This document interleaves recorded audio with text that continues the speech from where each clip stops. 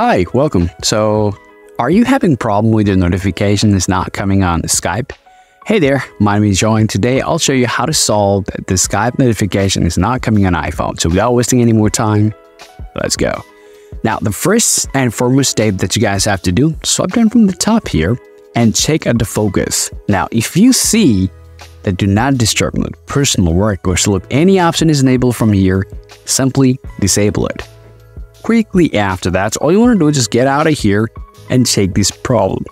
Well, quickly after checking that setting here, all you want to do is just go ahead and take a look at the low power mode. If you already activated the low power mode on your iPhone, disable that. At the very same time, I would recommend you to turn off your silent mode on iPhone.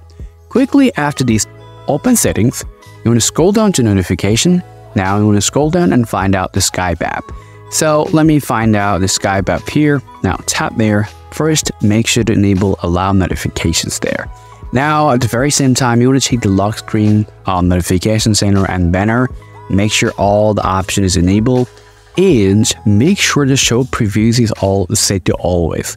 Now, quickly after this process, the next you just gotta get out of here, open up the general, scroll down to background app refresh here, and make sure to enable this Wi-Fi and mobile data. At the very same time, you want to get back and open the mobile service. Make sure the Skype is actually toggled on from this list of app. And after that, um, all you want to do is just get back to your uh, screen time, open up the content and privacy restriction, make sure to disable these features. After following all of that, all I want you guys to do is just go ahead and restart your iPhone.